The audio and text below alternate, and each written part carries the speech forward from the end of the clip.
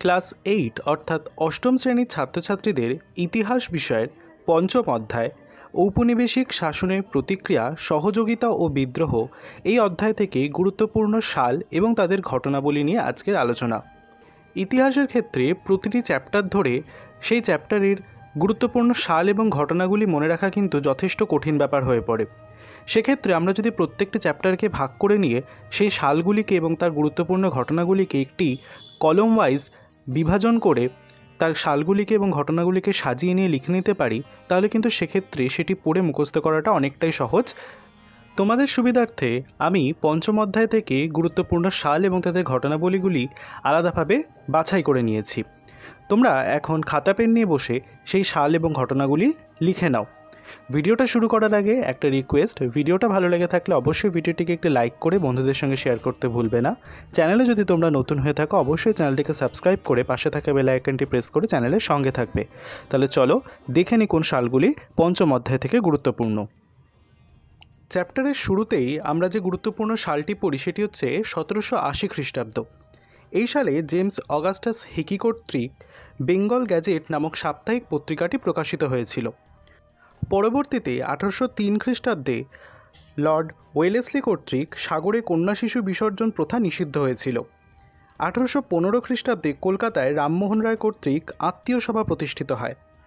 আঠারোশো আঠেরো খ্রিস্টাব্দে বাংলা ভাষায় প্রথম মাসিক পত্রিকা দিগদর্শন ও প্রথম সাপ্তাহিক পত্রিকা সমাচার দর্পণ প্রকাশিত হয়েছিল।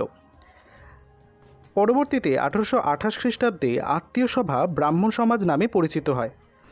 এবং এই একই সালে ডিরোজিও কর্তৃক একাডেমিক অ্যাসোসিয়েশন সংগঠনটি প্রতিষ্ঠিত হয়েছিল। এরপরে আঠারোশো উনত্রিশ খ্রিস্টাব্দে লর্ড উইলিয়াম বেন্টিং এবং রাজা রামমোহন রায় কর্তৃক সতীদাহ প্রথা নিষিদ্ধ হয়। পরবর্তীতে আঠারোশো একত্রিশ খ্রিস্টাব্দে ওয়াহাবি আন্দোলনের সমাপ্তি ঘটে। আঠারোশো আটত্রিশ খ্রিস্টাব্দে ফরাজি আন্দোলনের সূচনা হয়। আঠারোশো চল্লিশ খ্রিস্টাব্দে মহারাষ্ট্রে বিধবা বিবাহ প্রবর্তন নিয়ে আলোচনা শুরু হয়।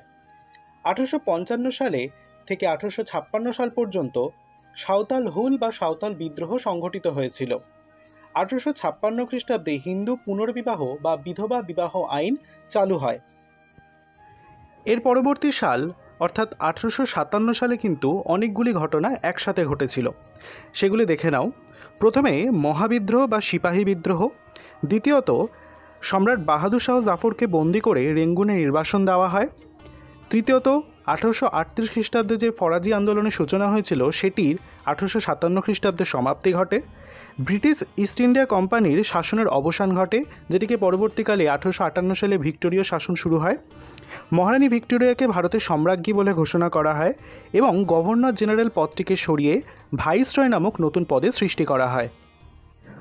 পরবর্তীতে আঠারোশো আটান্ন খ্রিস্টাব্দে ভারত শাসন আইন পাশ হয়, যেটিকে আমরা ভিক্টোরীয় শাসন যুগ বলেও চিহ্নিত করছি।